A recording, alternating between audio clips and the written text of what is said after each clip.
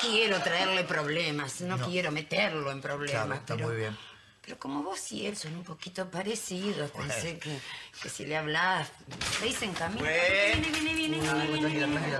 Estrella, de. ¿qué onda? ¿Qué onda? ¿Todo bien? Haceme dos lomitos completos, dale, apurate, dale. Eh, perdóname que no te conozco, pero desde que la vida es vida, por lo menos cuando yo recuerdo, cuando era jovencito yo, si alguien entraba y veía a dos personas hablando, primero esperaba que terminen de hablar para después hacer un pedido. No sé si es claro esto. Ah, mirá. Y capaz que en esa época, no sé, en el mundo, estaba vos y es otra persona nada más, qué sé yo. Dale con los sándwiches, loca, ¿qué pasa ahí? Nene, no, todavía no me pagaste los de anoche, quiero hacerte acordar. Mirá, nena, vos todavía no me diste los sándwiches y a mí el hambre sé que me pega re mal humor, ¿entendés? No, no hagas eso, no hagas eso, tranquila. ¿Te conozco, vieja, vos? Eh, no sé si te dice algo, soy Pepe Argento.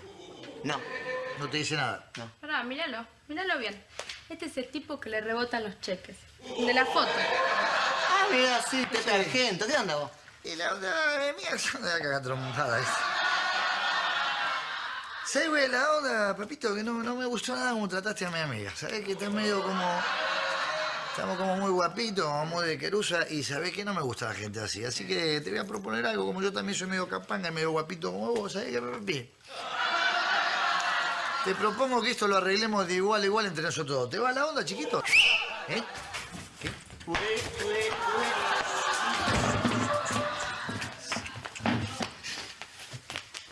¿Eh? Pero sí. Sos vos contra nosotros tres. Entre los tres sumamos tu edad, ¿entendés? De igual a igual, como dijiste vos.